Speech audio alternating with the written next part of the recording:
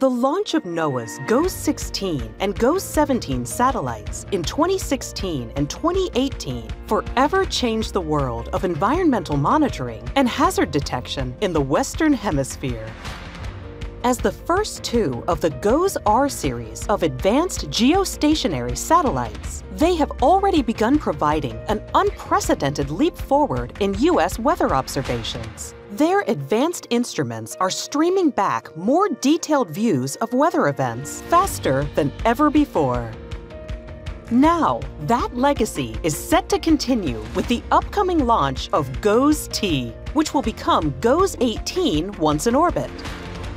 The GOES satellites provide imagery of the Earth in extraordinary detail and clarity, providing invaluable information to forecasters, government officials, and emergency managers charged with protecting the life and property of those in harm's way.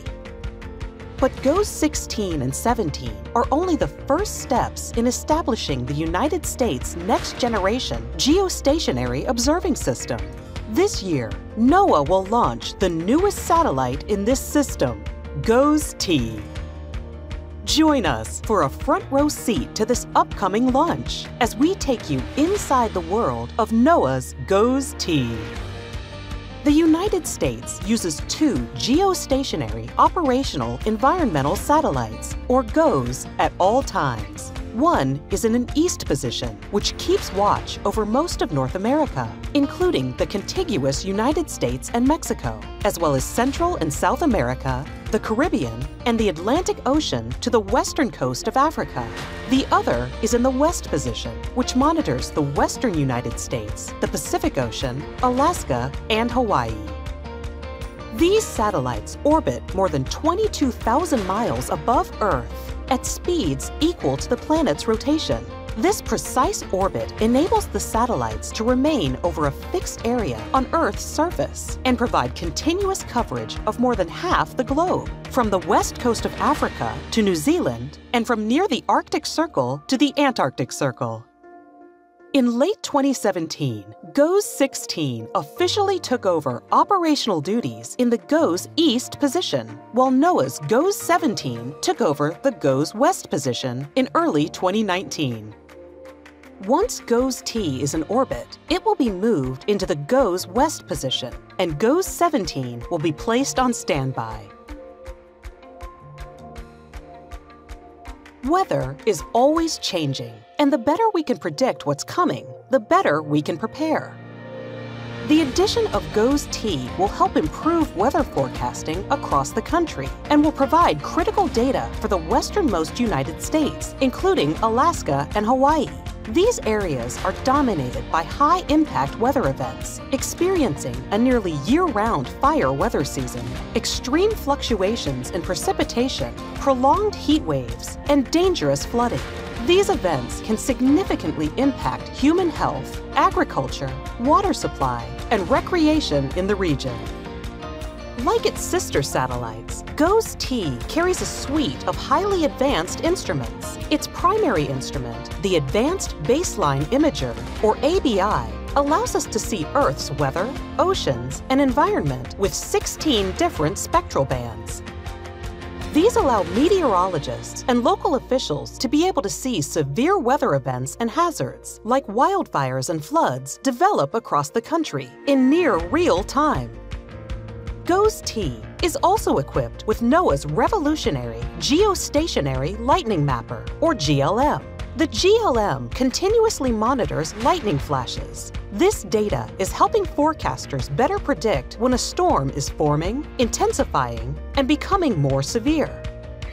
In today's digital world, space weather is not just science fiction. That's why GOES-T has a suite of instruments that will help monitor space weather Geomagnetic storms caused by eruptions on the surface of the Sun can cause serious trouble on and around the planet. Strong enough storms can damage satellites and electrical power grids, interrupt radio and satellite communications, cause our GPS navigation to fail, and harm astronauts.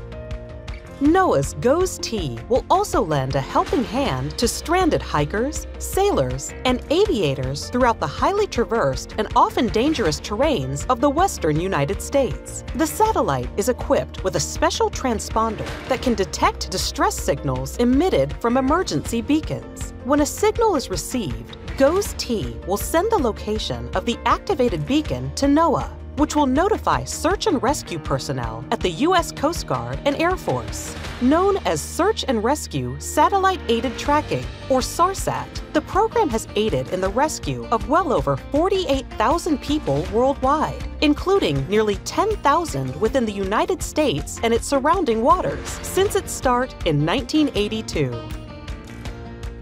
Taking GOES-T from its initial concept to launch was a highly coordinated and collaborative effort. Teams of experts from NOAA, NASA, Lockheed Martin, L3 Harris, and United Launch Alliance have worked together for years to design and build these four GOES-R series satellites. Once completed, GOES-T was tested and a launch vehicle selected. It was then shipped to NASA's Kennedy Space Center in Florida, where it arrived on November 10, 2021, in preparation for launch. NOAA's GOES-T will be traveling to space aboard a ULA Atlas V 541 expendable launch vehicle or rocket. The rocket weighs about 1.19 million pounds and is a staggering 196 feet tall. When the terminal countdown hits zero, the Atlas V RD-180 main engine and four solid rocket boosters will ignite to generate the two and a quarter million pounds of thrust to lift the rocket away from the pad. Shortly after liftoff, Atlas will begin its initial pitch, yaw, and roll maneuvers to attain the proper ascent profile and minimize aerodynamic loads. The Atlas V reaches Mach 1, the speed of sound, at 35 seconds. At 48 seconds, the vehicle will experience maximum dynamic pressure. All four solid rocket boosters, or SRBs, are jettisoned at 1 minute 50 seconds. Less than two seconds later, the payload fairing is jettisoned. Approaching booster engine cutoff, the Atlas V burns propellant at the rate of 1,856 pounds per second, traveling at over 13,340 miles per hour, and will be located 83 miles in altitude and 267 miles downrange. Booster engine cutoff occurs 4 minutes 22 seconds after liftoff. A few seconds after that, the booster stage will be jettisoned. The vehicle now weighs a little more than 5% of what it did at liftoff. 10 seconds after booster separation, the first Centaur main engine start takes place. Cutoff of the Centaur main engine occurs just over 12 minutes after launch. The mission now enters a nearly 10 and a half minute coast phase, at 23 minutes 39 seconds, the Centaur main engine is restarted. This burn will last five and a half minutes. Following the second Centaur main engine cutoff at just after 28 minutes, the mission enters a three-hour coast phase. Roughly three and a half hours after liftoff, the Centaur is started for a third and final burn. Then, approximately a minute and a half later, final cutoff of the Centaur main engine occurs. At 3 hours, 32 minutes, and 56 seconds, Centaur will release the GOES-T satellite for NOAA and NASA, and the satellite will fly in space alone for the first time. In the days that follow, GOES-T will undergo a series of maneuvers to bring the satellite into a geostationary orbit. This is scheduled to occur approximately 12 days after launch.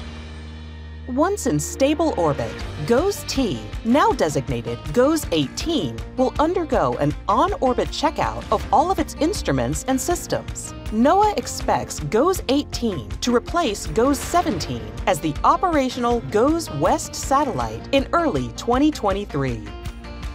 Join us March 2022 as we see it off on its mission to improve United States weather forecasting.